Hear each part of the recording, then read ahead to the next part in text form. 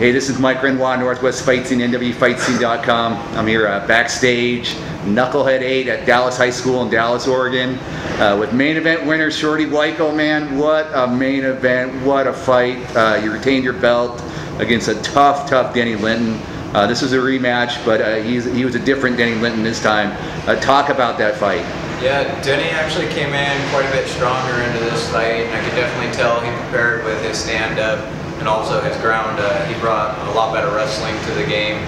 Um, his jiu-jitsu was still, you know, normal. I didn't uh, have to deal with that too much. Just he was really good on landing his elbows and using his wrestling to neutralize mine. I did not expect him to use so much wrestling and underestimated him a little bit, but still was able to come out victorious. Uh, yeah, first couple rounds, uh, you said in the post fight, you know, in the in the cage that you thought he won uh, that you needed to finish him in the fight. You want to finish him in the fourth. Talk about those later rounds for you. Yeah, I knew uh, from the beginning, you know, we were back and forth on the wrestling. I think we were about even on punches and strikes, but he got the, I would give him the victories for the takedowns. But as we got later in the rounds, you know, I could feel him starting to fatigue more. I've been practicing to go into deeper waters. In this fight, I was actually prepared to go the five rounds if I had to. So I knew if I drug it out a little bit longer and longer that the advantage would tip further and further into my skill. So uh, just ended up going along with that. You know, he still took a couple of takedowns, but I wasn't too worried about him. Um, he wasn't doing too much damage minus his fists and his elbows, but a very tough, tough kid. Um, was able to get a reversal, and then when I was on top, I was landing a lot of my elbows and strikes and heavy hands, and then ended up flattening him out, and then finish him off with uh, punches to ear to ear. Right on. Now, uh, so you retained the belt.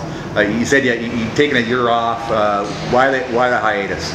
Uh, I ended up injuring one of my shoulders and then took a year off and then took a fight on like, I'd like to say like two weeks notice and then took a loss and then kind of had to find out what I really wanted to do as the fight game. Lots of promotions weren't paying what it was worth to go into the fight, so I took off to work over for Midwest Towers traveled the States for a little bit doing work for them and then watching some of these fights made me really realize how much I miss my fighting and stuff and decided to come back with it.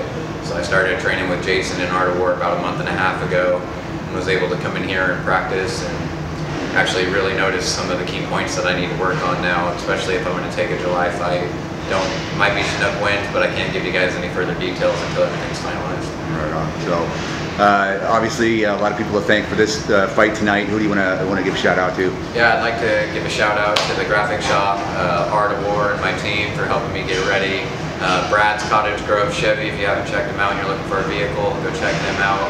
Um, actually, it's also Evergreen uh, Roofing down in Eugene. Also, uh, Matified Performance. Trying not to forget anybody.